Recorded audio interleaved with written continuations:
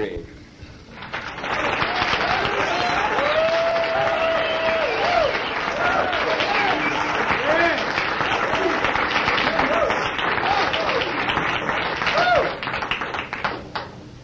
evening, everybody. My name is Dorine. I'm a very grateful recovering addict. And it's a, a joy to be here tonight, and that's for real.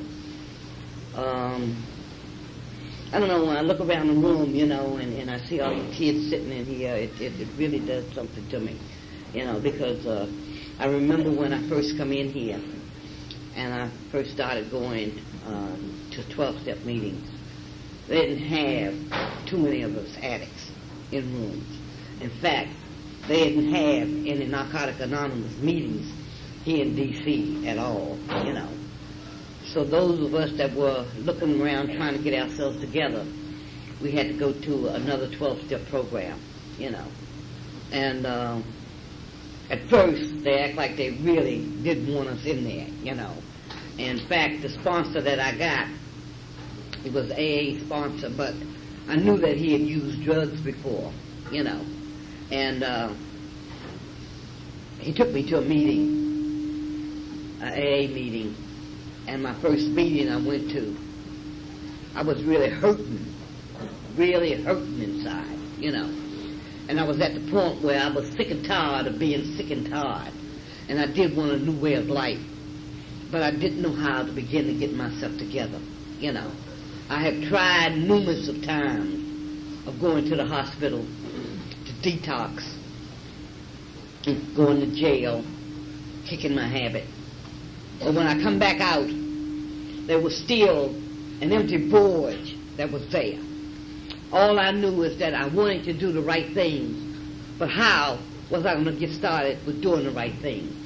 Because for the last 18 or 19 years, all I knew was being out there in the street, hustling, prostituting, soliciting, you know, stealing, lying, doing anything I could to get over, to keep monies coming in, to keep me supported in the drugs that I needed. I didn't know anything about being around square folks, you know, quotes, as we call them, people who work, who take care of business like they're supposed to take care of business, their rent and their obligations and things, you know. These were square people to me, you know. And it goes to show you how sick we really are. Because when we're in our active addictive addiction, this is how we really see other people who are really trying to live their life. And every time I got out of jail or I got out of uh, the hospital, I would try to get me some kind of little job. Here I am, unskilled, uneducated, not knowing which way to turn. You know, I'd always wind up getting me some kind of job as a salad girl or working in a hotel as a chambermaid or something like that, you know. And uh, I, I just didn't like that type of job. I didn't like that type of job to save my life. But I didn't know a damn thing else, you know. I didn't go no further than eighth grade school, and I didn't complete that. And then when I was in school, I didn't even try to do anything while I was there, you know, because my mom was always tripping off somewhere else. My last and final bout with hard drugs was back in June of 68. And I never want to forget that because it was a horrible time for me. And I can say that it's only through the grace of God that I'm standing up here now. Because I got locked up for my last and final time. And I went over to Women's Detention Center. And I laid over there for eight days. And eight days, instead of me getting better, I got worse. They took me from Women's Detention Center over to D.C. General Hospital. And there they found out I had a heart murmur. Also, they found out I had a disease that was in the first stage of syphilis. And if I stand up here tonight and if I tell you that I knew what was wrong with me and I was about to go somewhere and see about myself, I'd be telling you a damn lie. Because I did not know what was wrong with me and I wasn't about to go anywhere to see about myself. So you see, I know it's only through the grace that I'm standing up here. Because if I had stayed out there like I was, I'd probably be a blundering idiot by now. I would and eat my brains up, or either I'd be a dead woman because I just didn't care. I come out of there and I wanted to get my life together. But I only knew one thing. Going back down to the corner of 14th and T, 7th and T, or down on 7th Street somewhere. I didn't know anything else to do. I had long since disconnected myself from my family, you know, because they didn't understand me. Hell, I didn't even understand my own self. So how could I think that they would understand me? I come out of there, and for the first time in my life, I begin to start getting real with myself. I said, Dorine, you need to find something to do with yourself. And the first drug program that was open here in D.C., they called it Day Track. And they had a nice building on 13th Street, real model building, you know, where you could see a psychiatrist and and, and go there and, and, and have somebody to talk to. They try to get you a job and, and, and all this type of stuff, you know. So I said that I wanted to try. I really wanted to try. And I went to that center. And I run into a psychiatrist there. And I begin to sit down and I begin to start talking to the psychiatrist. And you know how we are when we don't know how to talk. I did not know how to hold a decent conversation with anybody. Because out there in the street, all I knew was, hey, motherfucker, hi, bitch. Where you going, motherfucker? Kiss my ass. You know, that was my everyday bilingo, you know? That's the way we talk to each other. Fuck you! You know? I don't give a goddamn. Ah! You know, well, I knew that by heart, you know. But when you sit down and you begin to start asking Dorine something about Dorine, you know, well, what the hell you want to know something about me for? You know, I don't want you in my goddamn business. You know, ain't nothing wrong with me. I'm all right if y'all just leave me alone. And that's the way I felt. Somehow or another, I kept going down to that center. And for a whole year, I did not use any drugs. But what happened, I started drinking real heavy. And we are people with addictive personalities. We go from one extreme to another extreme. A lot of us will stop using, and I've heard people say, "You mean to tell me that you don't do nothing? Uh, you don't you don't take a bill or stick a reefer or do do nothing?" Hell no, I don't do nothing today. And that's the way I was. I was really empty. And I had a void there that needed to be filled. And the only way I knew how to fill that void was to go to the corner and cop. But I was determined that I was not going to the corner and cop. I prayed to my God and I asked him to give me the strength that I needed. I was in a halfway house for over a year. I was afraid to leave out of that pr- protective environment because I did not know what to do until I run into my sponsor.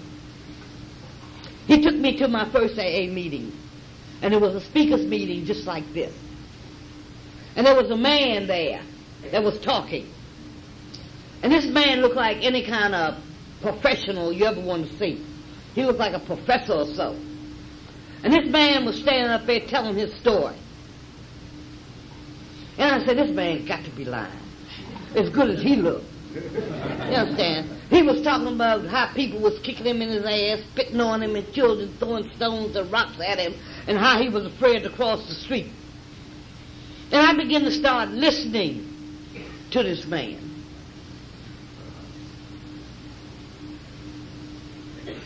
And something began to come to me. Said, Dorine, all you got to do is give this thing just half a try. And I began to start going to meetings. Because, I was so glad to be in a room full of people that were so willing and ready to talk about themselves. See, I'd always been around people who were willing and ready to talk about everybody else but themselves. And I was with that bunch. I'd talk about you like a dog. But I didn't want you to say a goddamn thing about me. You stay out of my you stay out of my business. And I began to start coming around to these meetings. And at first, I'm talking to the newcomer now. When I first come into these meetings, it was so happy. Everybody was laughing and smiling. It was just like a big party. I was running around and I was talking shit to everybody and sitting down at the meetings and everything. You know, I was on a pink cloud. Because I felt safe in these rooms. Then things begin to happen to me in my life. The storms begin to rage. Things begin to shake and tumble around me. And I said, Good God Almighty, what is this? and I'm here to tell you tonight there is no growth without pain. And the only way out of this thing is you've got to go through it. There's no easy way around this thing. You don't come in here and just automatically take off and everything will be all right. You got to come in here and you got to work a little. You're going to have to go through some changes. You're going to have to be some storms that got to come in your life. For how would I appreciate the sunshine if it wasn't for the rain yesterday?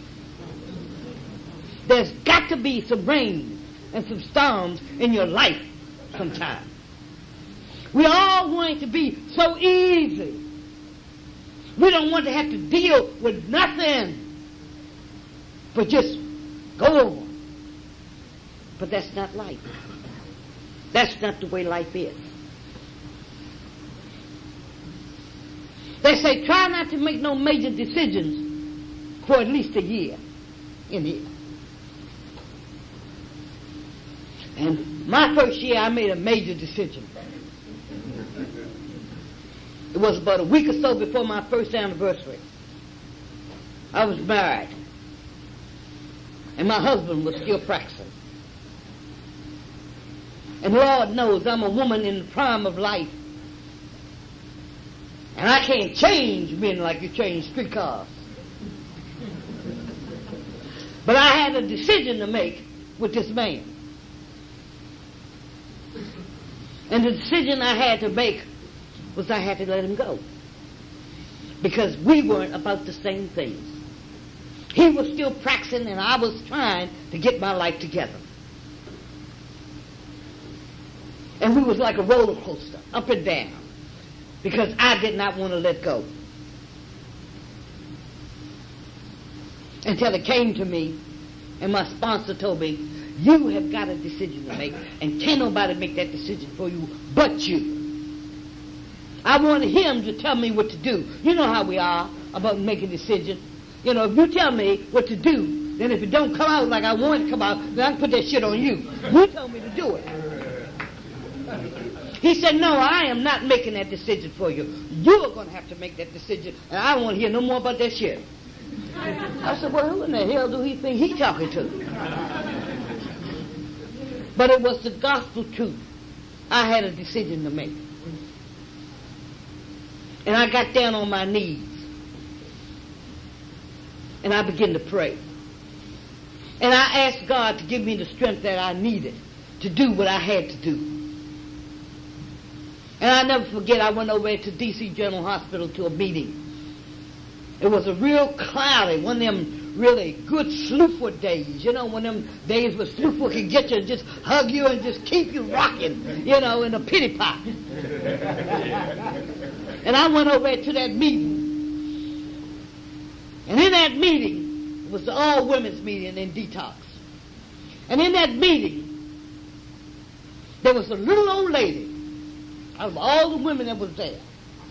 And this little old lady was just round up and crunched up like this, and, and just rocking back and forth. This little woman looked like she must have been about 80 or 90 years old. And I went and I sat down at that meeting. I can't tell you what the topic was, what they was talking about, or nothing. Because my eyes was focused on that little old lady. And what was coming to me was, what is a little old lady like this woman doing sitting in detox this morning? Where she should be in somebody's rocking chair with a Bible in her hand, praising God for the life he didn't give her and for how long she'd been here. And I kept looking at that little lady, and my eyes could not wander away from that little lady. And after a while, I did not see that little lady anymore. That little lady turned into Dorine.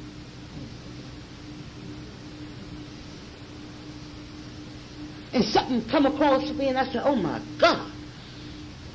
And that something that come across to me was, if you don't get yourself together, there by the grace of God goes Dorine.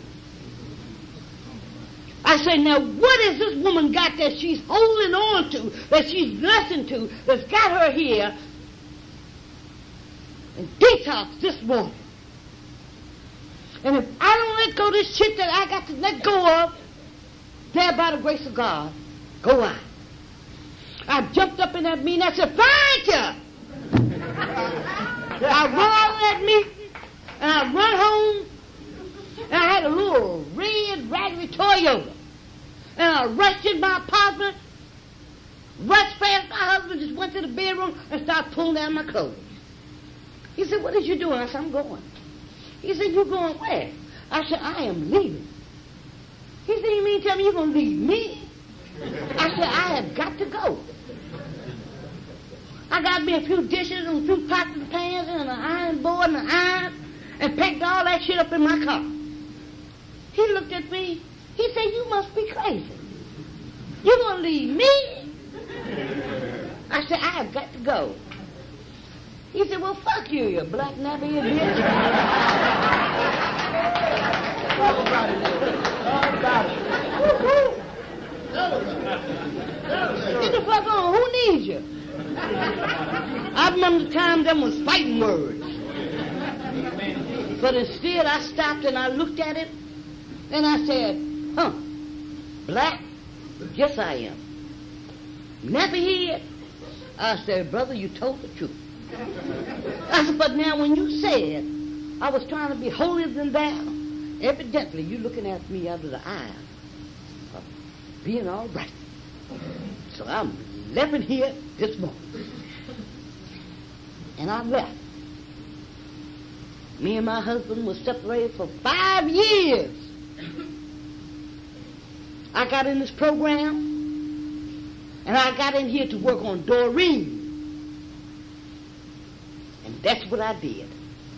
I come in here to work to get my head together, not my ass. And I jump right in the middle of this thing. And I start listening to you people. And you people start shaping me up little by little by little by little. And I begin to follow direction and do what I had to do. And I thank God for that, and I thank God for you people. After five years of being separated from my husband, somebody come to me one day and told me, said, Dorine, say your husband is at the VA hospital. I said, really? They said, yeah. He's in detox there. I said, well, good for him.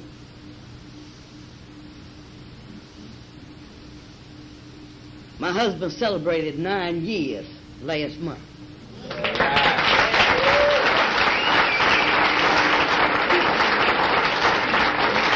I'm saying all this to say you don't know what you got to do. A lot of we, us come in here and we want to fix it for everybody else but ourselves. All you got to do is come in here and do what you got to do for you. And whatever you do, it will spread abroad. A lot of us come in here with the notion about, I love this. I love my husband. I love my kids. I love. If you ain't got no love, how in the hell can you give some love? Mm. You got to learn how to love first. And charity, they tells me, begins at home. Until you start learning how to love yourself so you can spread that love. A lot of us come in here who want everything the way we want it to be. It's not going to be the way you want it to be all the time. There are going to be some ups and some downs. No doubt there's some people in here tonight who might be going or who might be in the midst of a storm. But I'm here to tell you tonight that if you are in the midst of a storm, all you got to do is just hold on and just rock with it.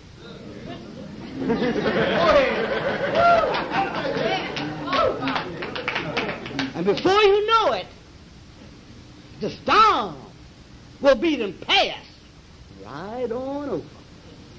And you can say, Hallelujah. And the more storms you go through with, the stronger you'll be able to get. A lot of us, are a lot of feeling and emotional people.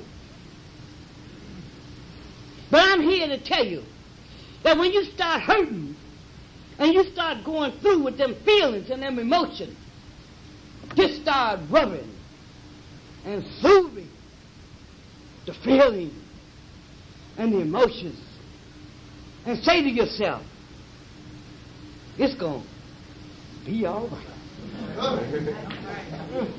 It's going to be all right. Because he didn't bring me this far not to leave me now. We got to come in here and we got to love one another. We got to learn how to respect one another. See, we come in here not knowing a damn thing but thinking we know everything. We come in here dragging our asses. As soon as we be around a few little 24 hours, then we begin to get real perky. the vim and shit begin to start rising. Like we got it all together. Then somebody's telling us how good we look.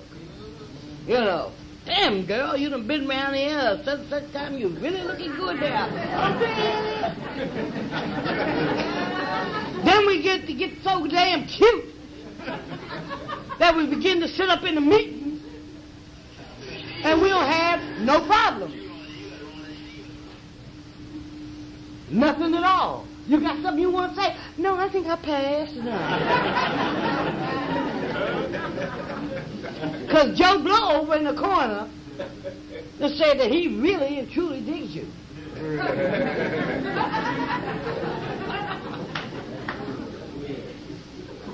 and that's when you got your little flimsy tight skirt on and, and you want to switch your little ass around and everything's all right now.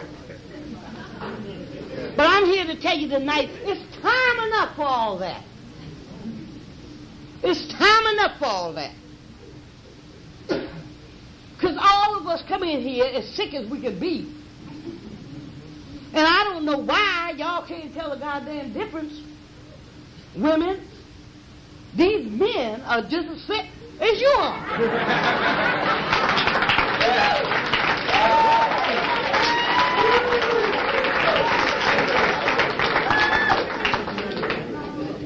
And men, these women are just as sick as you are.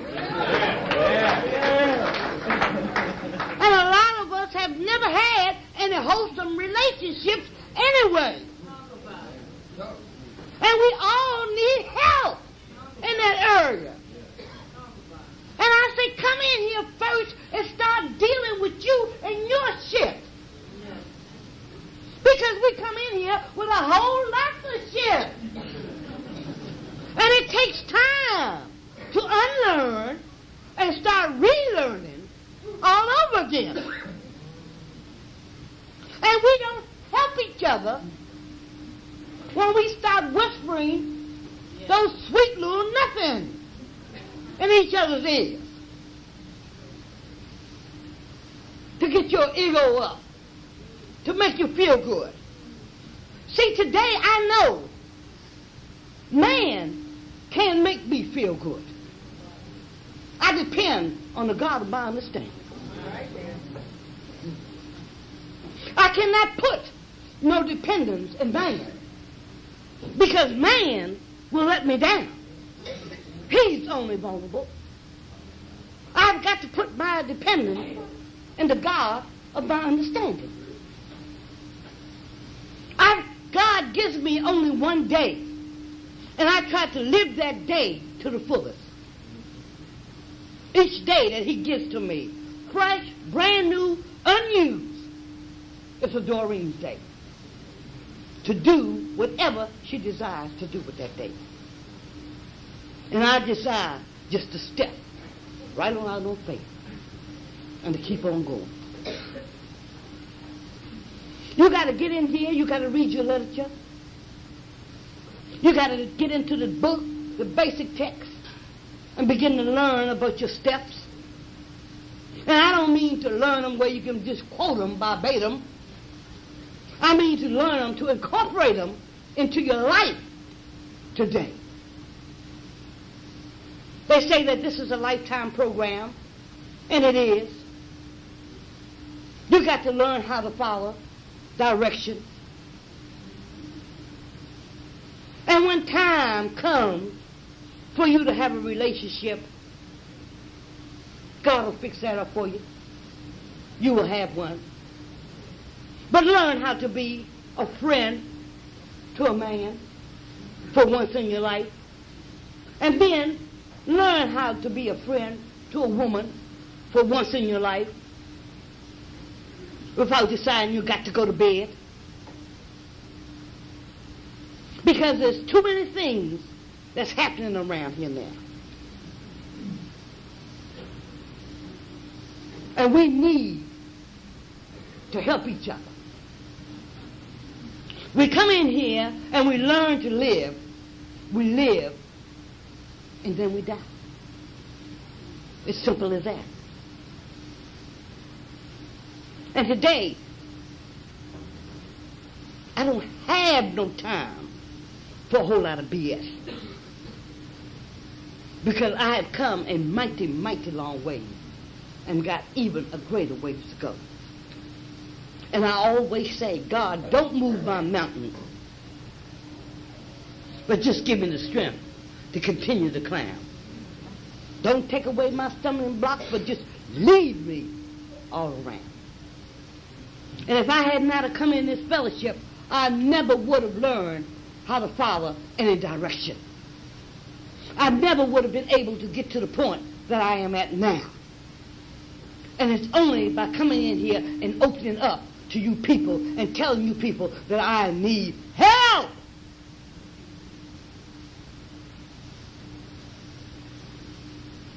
And we all can help one another by reaching out to one another.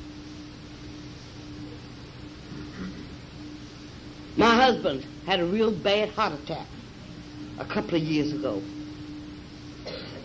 The doctor said that he wouldn't last a year. But he's still pumping. He's still going on in spite of.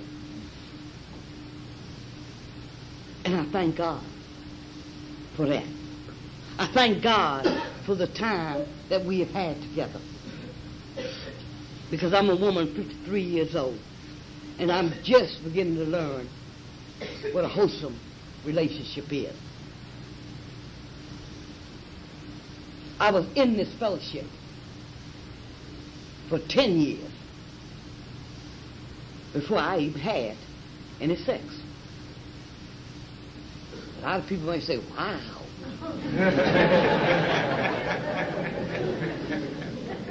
but I found out that I wasn't a hot tomato after all.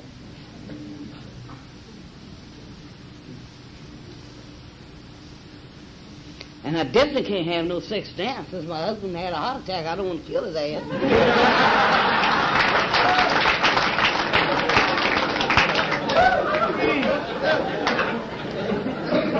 I tell Ray them coming over here that I had a porno film on there last night. And he come peeping around in my room. I said, come on in, honey. Lay down. He said, you'll never kill my ass in there. Well, see, we can talk to one another like that today. If I walk by him, if I get a little pat on the cheek, I said, thank you. Keep walking and turn the other one.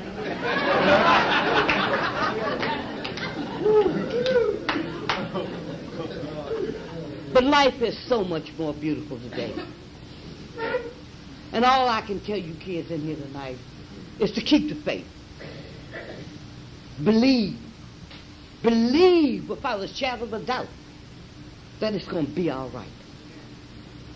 And prayer really and truly helps. And like I say, when you're going through a storm, just hang on. Because it will soon be over. You heard me say that I was uneducated, unskilled. I went back to get my GED and missed it by one point in math. I'm going back after it again as soon as I get back there and study with that math. I have a top-notch job now. But I'm a parole officer's assistant working in, in the federal court. I've been there now for 13 years. And the mother has a secretary today.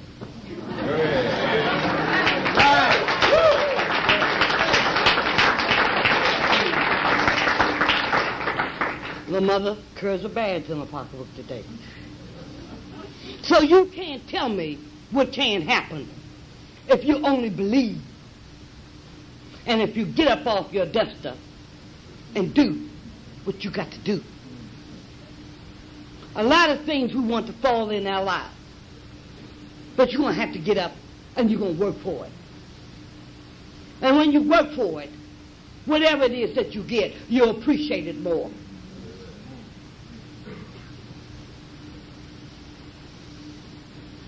All you got to do is keep the faith. Keep coming back. And asking God to give you the strength that you need to do whatever you got to do. And remember that you cannot change people, places, and things. The only change that's got to be made is with yourself.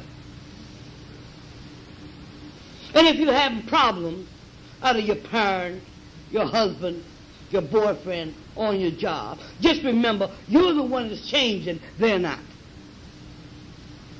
And hang on in there and do what you got to do.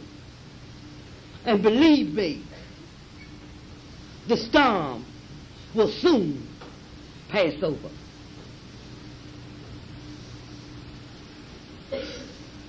You got to run and crawl after this thing the same way that you run and you crawl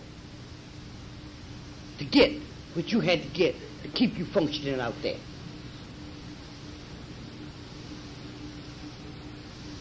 Tell this program to me now. It's like I wear it. I wears this program like a garment. And it just fits and it just sways all around. But see, I can't take the credit for this. I got to give the credit back to the God of my understanding and you people. Because I say, unless I can see the goodness of the Lord amongst the land of the living, then I do believe. And when I walk into a room like this, I see the goodness of the Lord, and I do believe. I want to thank y'all.